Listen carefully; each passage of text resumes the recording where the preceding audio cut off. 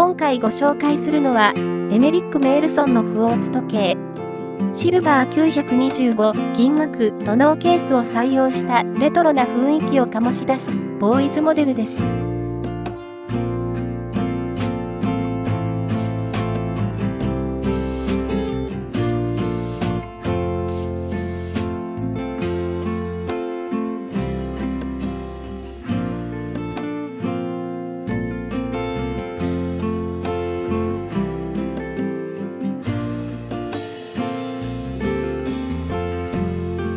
サイズ。ラグ幅 16mm です。ケース径は横約 28mm ルーズ含まず。縦ラグからラグまで約 34mm 厚さ約 7mm 風防含むです。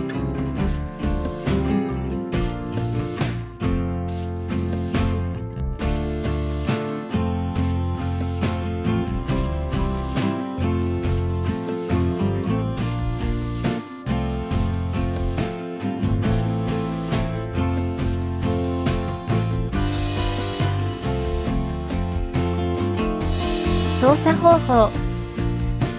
ケース右サイドにあるつまみがリューズです。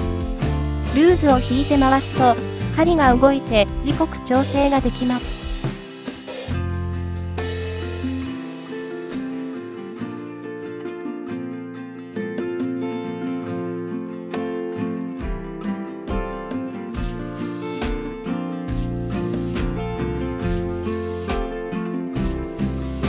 精度日差はクォーツで問題ありません。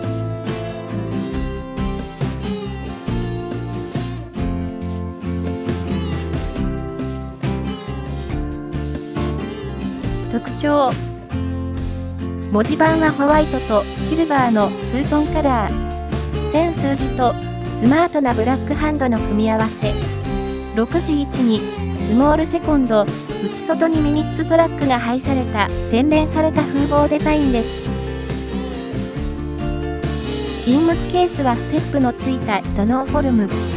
裏蓋にはホールマークが確認できます。バンドはレザーストラップにエメリック・メールソンの SSD バックルを装着しています。メンズライクの女性でも装着ができる上質でおしゃれな一品です。エメリック・メールソン。ブランドは1952年に宝飾品の彫刻家であったエメリック・メールソンがフランス・パリに時計とジュエリーの専門店を開いたのが始まりです。装飾的なアール・ヌーボー様式から無機的なアールデコへと流れが大きく変わっていった時代。19世紀末から20世紀初頭にかけて当時のトレンドを無視したアールデコ調のデザインを得意とし人気を博しました。時代の優美さを感じさせるのがエメリック・メールソンのデザインです。コンディションダイヤル文字盤特に目につく大きなダメージはありません。文字、メモリのかすれ消えもありません。針に錆など出ていません。ケース、裏蓋。すれ、小傷が認められます。裏蓋の刻印は鮮明です。大きなへこみなどもありません。風貌。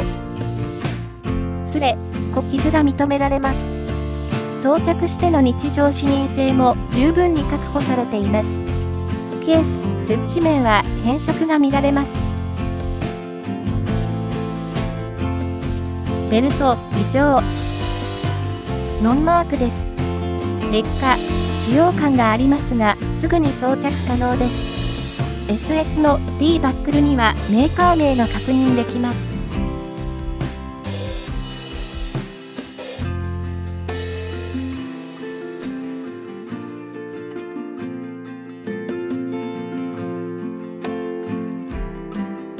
時計の快感コンディションや精度など詳細は概要欄にリンクを貼っていますのでぜひご覧ください。